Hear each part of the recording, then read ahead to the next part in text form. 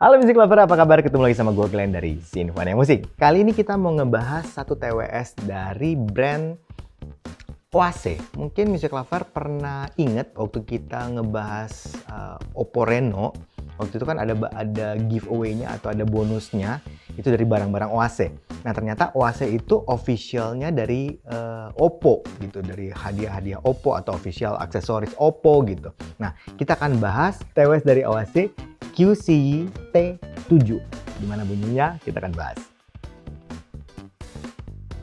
Nah, Music Lover untuk QCY T7 ini harganya di kisaran Rp379.000. Kemudian speknya seperti ini. Menggunakan Bluetooth 5.1, kompatibel untuk Android 5.1 sampai ke atas, kemudian bisa support sampai iOS 11, kemudian waterproof IPX4. Jadi lumayan tahan air dan tahan debu. Daya tahan baterainya bisa 3 jam, kemudian kapasitas case-nya bisa sampai 17,5 jam karena dia sampai 380 mAh. Charging-nya menggunakan uh, tipe C. Driver yang digunakan adalah driver yang cukup besar, 13 mm, dan ada teknologi yang baru yang mereka gusung.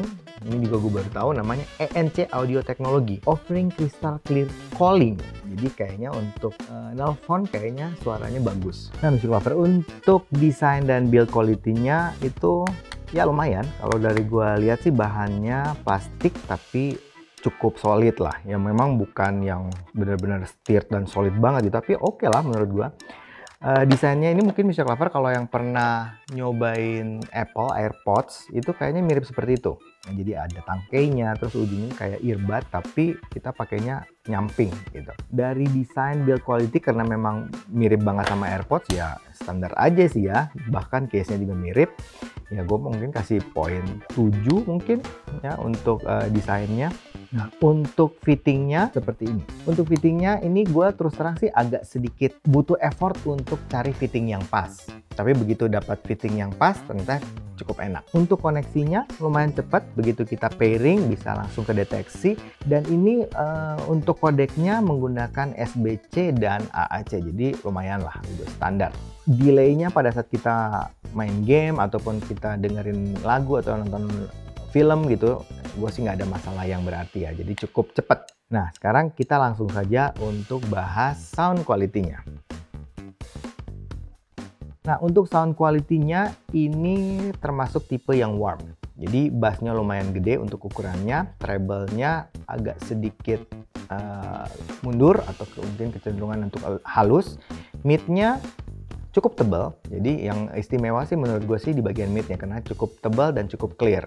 Untuk teknisnya nggak terlalu banyak yang bisa gue ceritain. Ini cukup standar lah ya, cukup aman dan safety. Soundstage-nya cukup luas, ya untuk depth dan wide-nya juga kerasa gitu. Memang tidak sangat presisi gitu ya uh, pinpoint-pinpointnya, tapi gue masih bisa dengerin untuk instrumen-instrumen yang utama itu pasti posisinya benar. Imaging-nya juga kerasa cukup luas, uh, detail baik dan clarity-nya juga lumayan.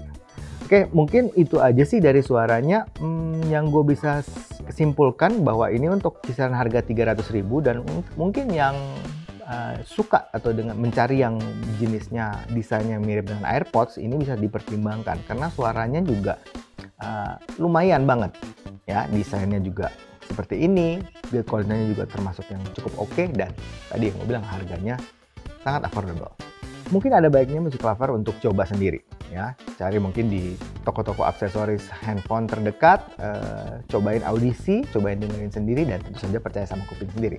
Oke kayaknya itu aja dari gua. Kalau suka dengan channel ini like comment share subscribe dan ingat juga untuk nyalakan loncengnya. Sampai ketemu lagi. Dadah.